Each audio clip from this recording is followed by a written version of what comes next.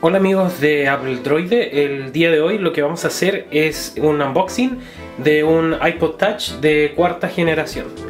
Bueno, eh, para comenzar vamos a ver un poquito eh, lo que podemos encontrar en, la... Como podemos ver, la caja a diferencia del, iPhone es eh, totalmente plástica, como pueden darse cuenta. Bueno, vamos a abrirlo y vamos a ver un poquito qué es lo que se encuentra dentro de la caja vamos a sacar este plástico protector de aquí. Ahí está.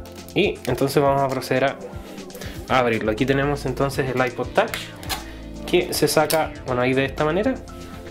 Ahí podemos verlo. Y vamos a dejarlo a un lado un poco para ver básicamente qué encontramos dentro de la caja eh, bueno los típicos manuales stickers eh, de Apple y ese tipo de cosas que uno eh, normalmente, como pueden ver, encontramos en los, en los equipos de Apple.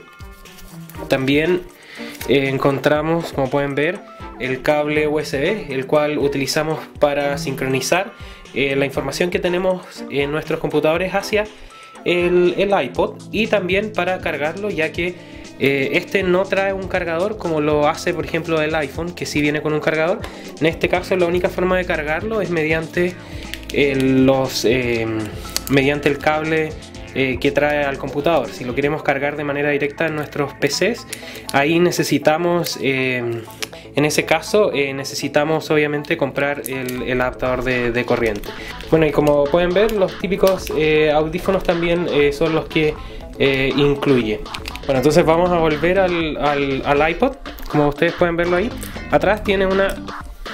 Esto hay que tirarlo y de esa manera entonces nosotros podemos sacar el iPhone de manera... Oh, perdón, eh, tenemos que tirarlo y de esa forma nosotros podemos sacar en este caso el iPod.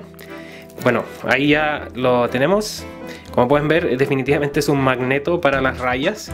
Es muy fácil que... Eh, eh, se queden eh, marcadas las rayas en, nuestro equipo. Vamos a sacar esto. Esto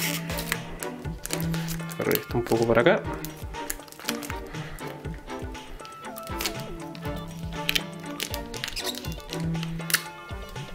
Ahí está. Y entonces como pueden ver aquí ya tenemos el, el iPod Touch bueno, como se pueden dar cuenta, eh, definitivamente es muy muy delgado, muchísimo más delgado que en el caso del el, del iPhone y si eh, lo encendemos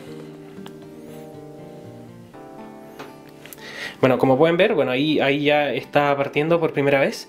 En la parte de atrás, como podemos ver, es la típica eh, la manzana de Apple con iPod y podemos ver en la parte de ahí arriba que posee una cámara. Eh, podemos grabar video en alta definición, pero eso sí, las fotografías solamente están limitadas a 960 por 540 megapíxeles, por lo que es una cámara más o menos de 1.3 megapíxeles. Pero eso sí, eh, graba video en alta definición y la calidad es la verdad bastante buena. Bueno, ahí nos dice que debemos eh, sincronizarnos con iTunes. Eh, como pueden ver, también tiene la cámara frontal. la cámara frontal es la que se utiliza para las llamadas de FaceTime y la cámara trasera también se puede usar para las llamadas de FaceTime y además puede usarse para eh, como dije anteriormente, sacar fotografías y también para eh, grabar video en, alta definición. Como pueden ver, la pantalla tiene, eh, es Retina Display, tiene la misma resolución que el iPhone.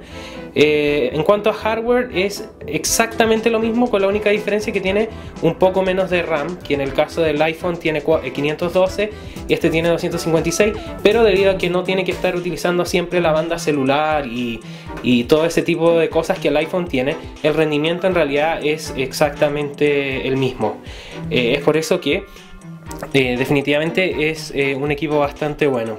Principalmente en el próximo análisis voy a hacer un, review más completo para eh, analizar un poco cómo funciona este equipo.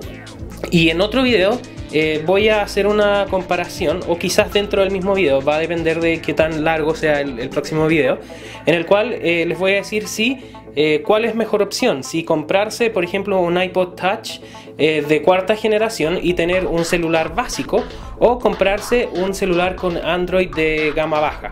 Porque con las dos opciones uno gastaría aproximadamente la misma cantidad eh, de dinero. Bueno, aquí ya tenemos eh, nuestro iPod eh, funcionando, ya hicimos una primera eh, sincronización. Y como pueden ver responde bastante rápido, la verdad es que funciona de acuerdo a una primera vista eh, a la misma velocidad como eh, se desempeña el iPhone. Entonces nos vemos en un próximo capítulo. Recuerden eh, visitarnos en www.appledroide.com, en YouTube en Apple Droide, en Facebook Apple Droide Chile y en Twitter recuerden seguirnos en arroba oligac. Nos vemos entonces en un próximo capítulo. Adiós.